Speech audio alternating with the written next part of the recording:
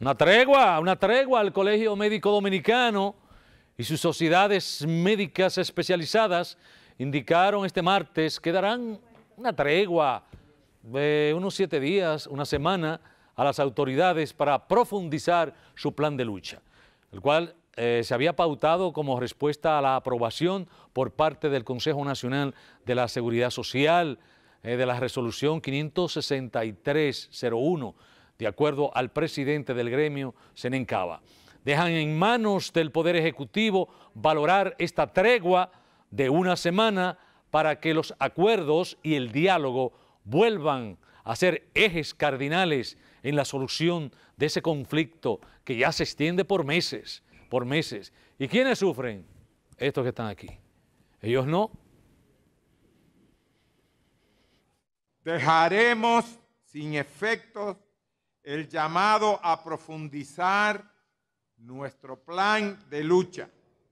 el cual se había pautado como respuesta a la aprobación por parte del Consejo Nacional de la Seguridad Social de la resolución 563-01 que de manera desconsiderada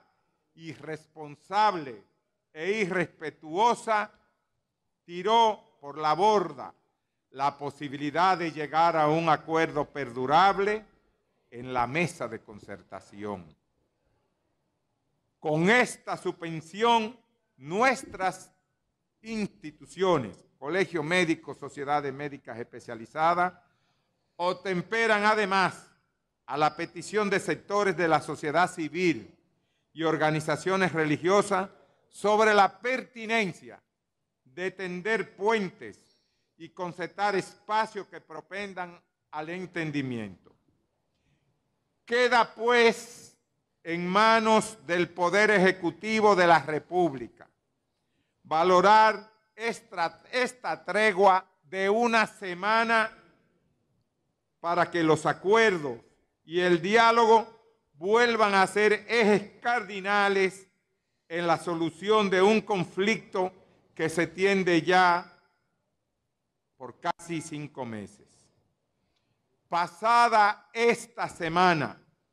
si no se ha producido ninguna señal que indique que se está en vía de solución a nuestras sentidas demandas, reiniciaremos el lunes 20 de febrero el escalamiento de la lucha con medidas más contundentes